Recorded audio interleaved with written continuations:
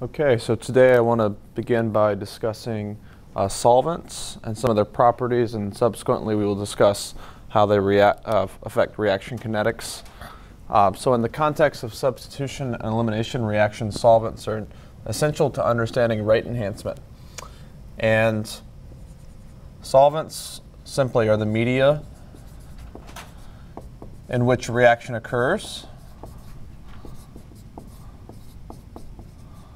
Facilitates the dissociation of the bulk starting material so that the nucleophile or the base can interact with the substrate in solution. And generally speaking, uh, solvents are going to have two main characteristics that are essential. Uh, they'll have some polarity. They may be quite polar, in other cases nonpolar, but that polarity as measured by dielectric constant is going to influence reaction rate depending on what the reaction mechanism is, it may be ideal to have a polar solvent. It may be more ideal to have a less polar solvent. We'll examine those examples. Another characteristic that solvents generally need to have is they need to be inert, or they need to be non-reactive towards the substrate. There is one exception to this, and that is the case where you're doing a solvolysis reaction. Solvolysis is an SN1 process, or E1, where the solvent molecules are the nucleophile themselves.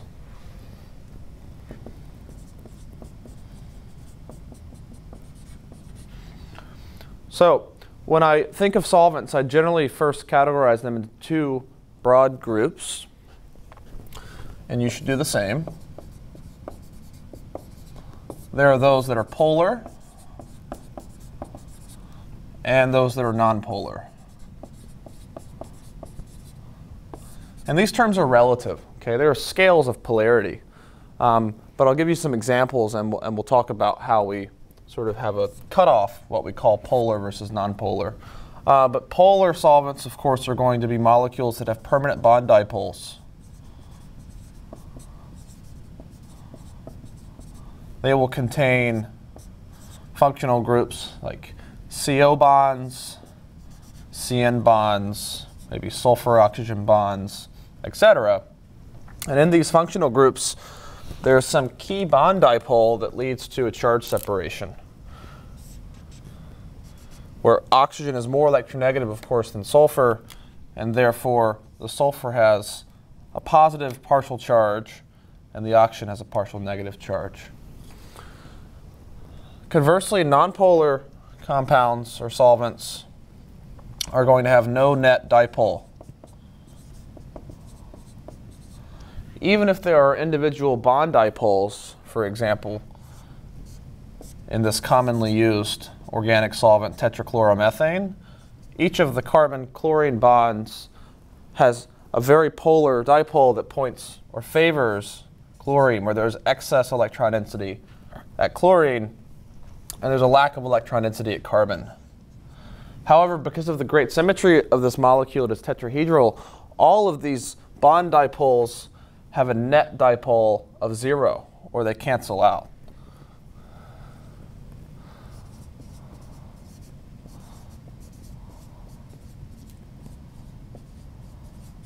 Thus, the electron density in this molecule is evenly distributed throughout the electron cloud and there are no permanent partial separations in charge. And therefore, these cannot stabilize charged molecules. Or they cannot form ion dipole type interactions with various ions in solution.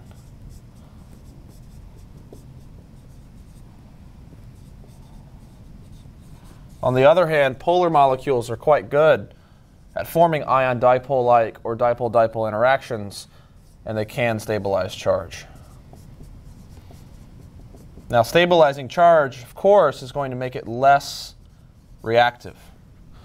And so we'll talk about cases where that hinders the reaction or makes the reaction much slower.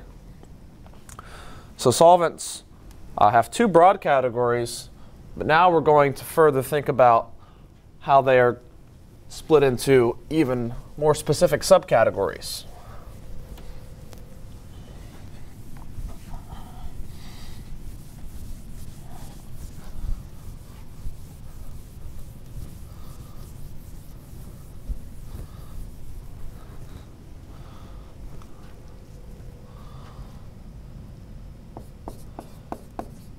So in this class, generally polar solvents are going to be those of interest uh, especially in SN1, SN2, E1, and E2 reactions, where we're going to have some amount of charge separation in the transition state.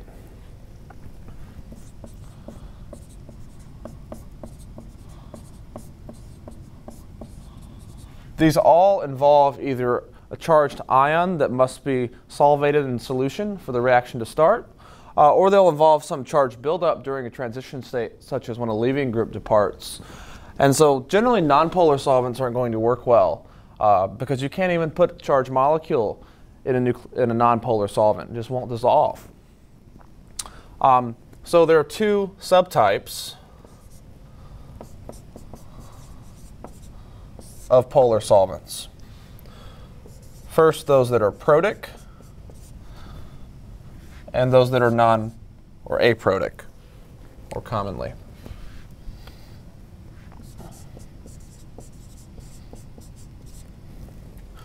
Protic solvents are unique and they have the ability to hydrogen bond.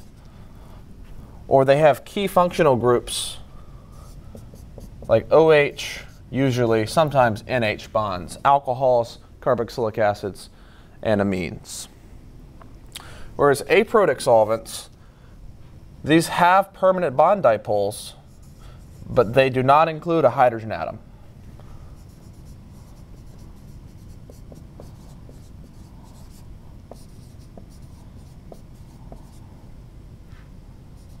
So we'll say permanent bond dipole without a proton.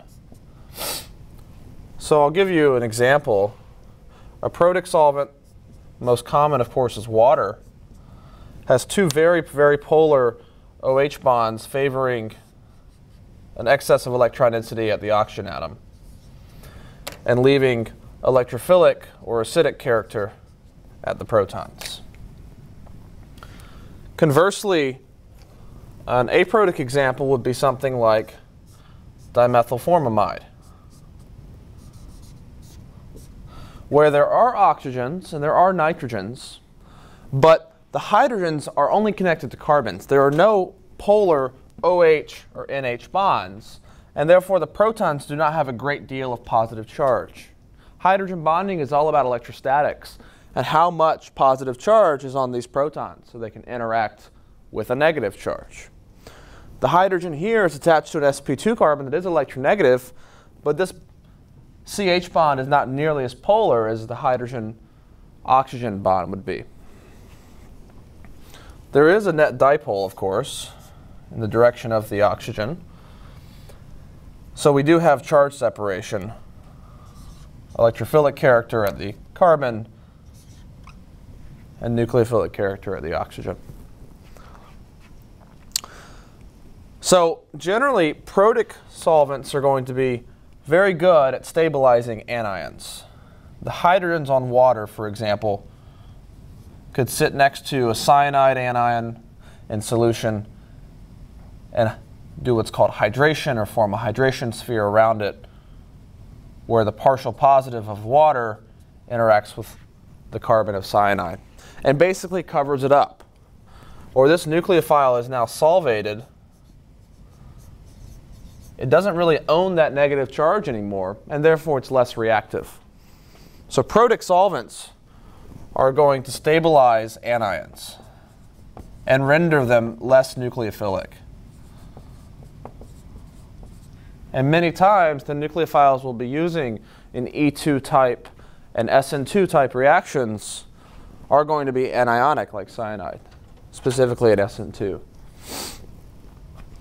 So Aprotic solvents are going to do a great job of solvating cations via their partially negative end of the bond dipole. Say the potassium ion that came along with cyanide is introduced into a DMF solution. This would now interact with multiple oxygen atoms of various DMF solvent molecules.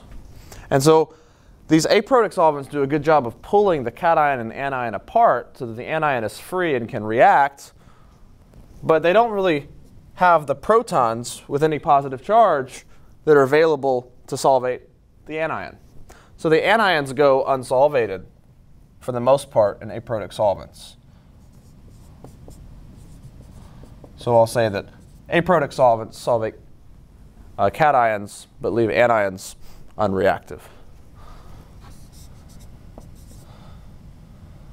So negatively charged nucleophiles sort of maintain their electron density and remain very nucleophilic in aprotic solvents.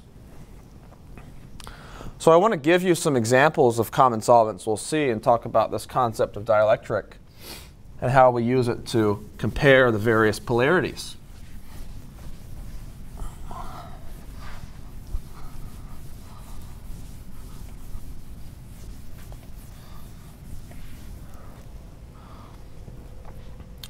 So the dielectric constant, which we denote as epsilon, this is going to be a measure of how well a solvent is able to screen or stabilize charge.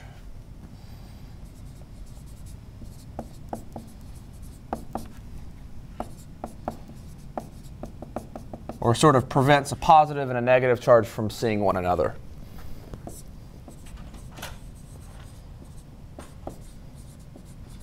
And they screen charges both positive and negative. And so an increase in the polarity is measured by a subsequent increase in dielectric constant. You can just think of it as being a larger number if the solvent is more polar. And I'll give you some specific examples of dielectric values for protic and aprotic, not because you need to know these, um, but I just want to show you some various trends. And it's not always true that one is more polar than the other. Okay. Remember the key difference between these two subtypes is that simply protic is able to hydrogen bond. So protic solvent, the one you're familiar with is water. And it is far more polar in its own category, at least 20 dielectric units more polar than any other common solvent we will see in this course. Next in line is formic acid, which does have a single OH bond, uh, but it doesn't have two very polar OH bonds like water. And it has a dielectric value of 58. Another example would be something like ethanol, which lacks this polar CO bond. So there is more positive charge on the proton of the formic acid that's reflected in its pKa being lower relative to the amount of positive charge on ethanol.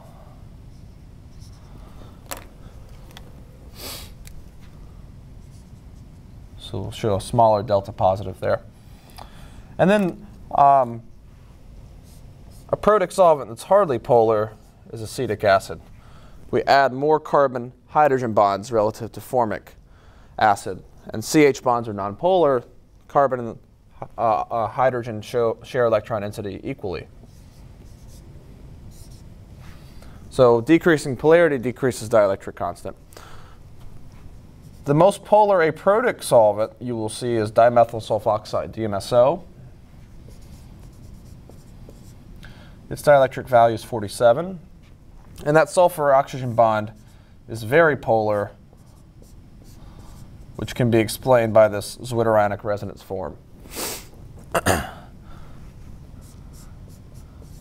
solvent I used in the previous example dimethylformamide has the same polarity as acetonitrile. These both have very polar either uh, CO bonds or CN bonds.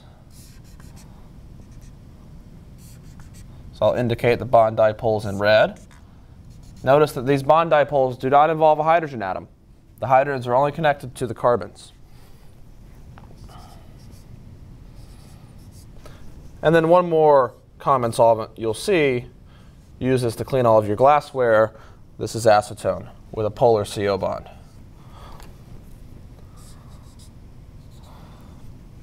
Okay, so it's not always true that protic is more polar in terms of dielectric value.